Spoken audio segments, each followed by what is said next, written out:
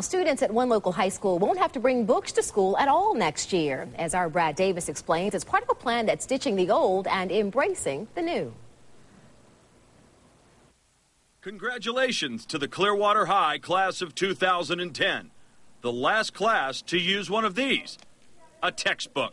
That last stage of exhaustion. Replacing the textbook will be one of these an e reader. Clearwater is sampling the Amazon Kindle. I personally don't like reading textbooks, so this, having it, would help me, you know, pay more attention to what I'm listening to, doing my work, getting it done, and understanding it. Two thirds of their day is spent on some kind of electronic item, whether it be an iPod, a cell phone, a computer, and we need to find ways to tap that to get the kids more interested in school.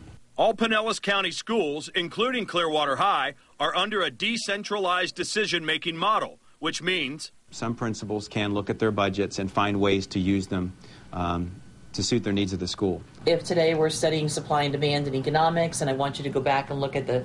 Linda Smith has been teaching social studies at Clearwater High for 30 years. Things have changed a lot, I, I, but this is one of the neatest breakthroughs we've had. And this can have every single one on our textbooks. So instead of having to carry seven textbooks with them, now they have this one simple piece of electronics. Streamlined learning, all at the fingertips of these students.